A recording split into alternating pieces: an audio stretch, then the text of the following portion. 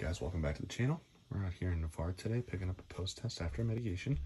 Uh, original test came back at 7.4. Um, so we went ahead and recommended mitigation and they had it installed. And uh, with that system installed, after the test was run, they are looking now at a 0.8 average.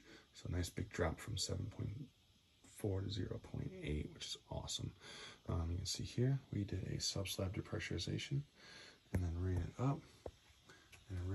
Off here. Um, that pipe going outside is our external exhaust system.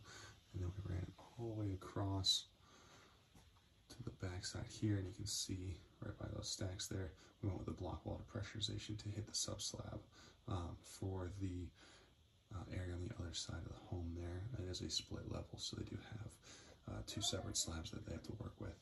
Um, so again, another great mitigation here and awesome levels. For checking us out. Stay tuned for more content.